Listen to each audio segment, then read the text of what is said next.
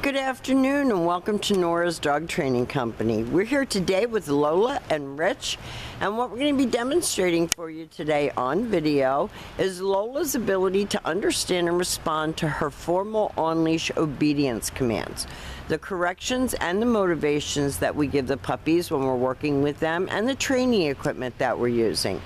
Rich is using a regular six foot web training leash and he keeps the bulk of the leash folded neatly in his right hand.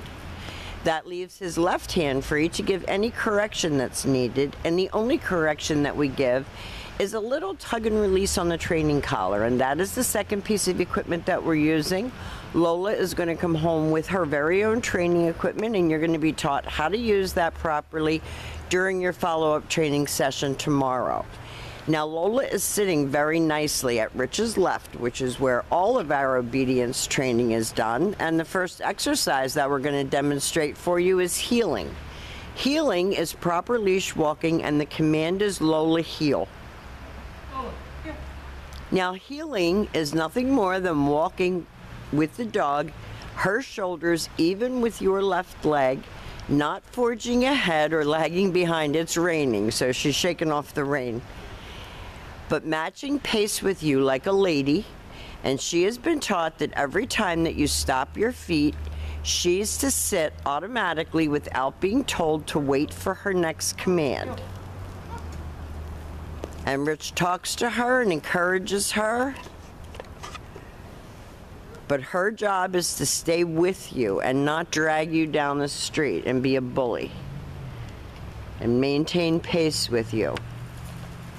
She's not loving this little rain shower. It's not raining that hard. Now the next command that we're going to demonstrate is the sit stay. The stay is a hand and a voice command and because it is a stationary exercise it is a one word command.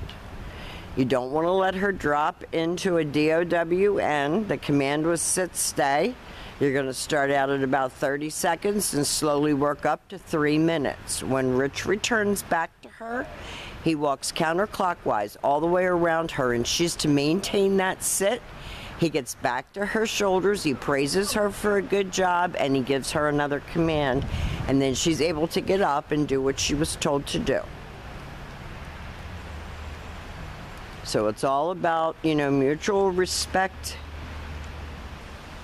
and her knowing that you have boundaries and that she has to do what she's told. It's not raining that hard, but she's making the most of it. Stay. Rich leaves her in another sit stay.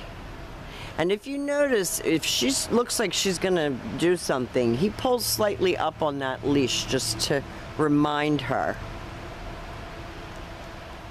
You're going to work up to three minutes on this, and this time, instead of returning back to her, Rich is going to demonstrate the come on command. You use her name, you lighten your tone of voice, and she is to come in and sit. And this is an important when you have a big dog because you don't want her jumping on people. Even if it's playful, it, people don't like it, especially children, they get afraid. So she has to come and sit to get praised. Nice heeling. If Rich turns, she should do the same. If he speeds up or slows down, she should do the same. And when he stops, she sits very nicely. Stay. He's going to leave her in another sit stay. He's going to turn to face her. And you can practice these exercises right indoors. And I would recommend, under the circumstances, that you substitute playtime for work time for a couple weeks. Rich is going to call her in again. She comes right in and sits. She returns to heel and she gets praised for a good job. Very good girl. So as you can see, she's come a long way in having some respect for her trainer. Come on, Lola. My goodness. We brought a blanket out for her.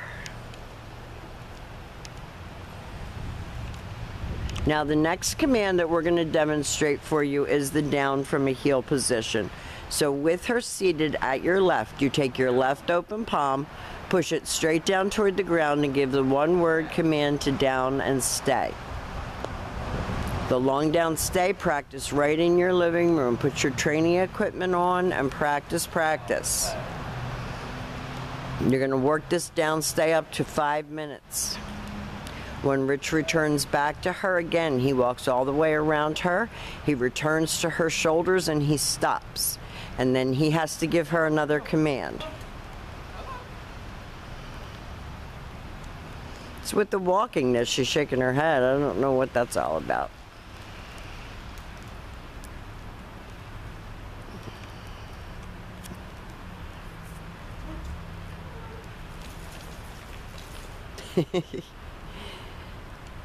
so withers seated at your left. Stay. Left open palm straight doing, down toward the ground. One word command to down and stay.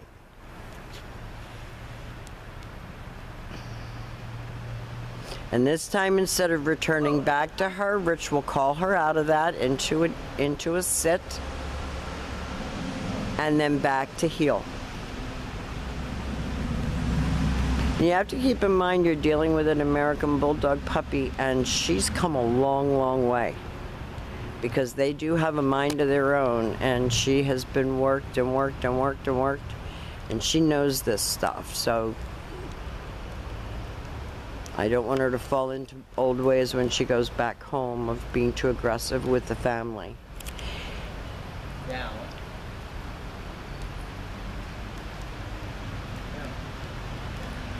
Now, if she doesn't do it, which this is going to happen to you at home. Sometimes we want to do a perfect video, but I'd rather you see what Rich does when she doesn't do it.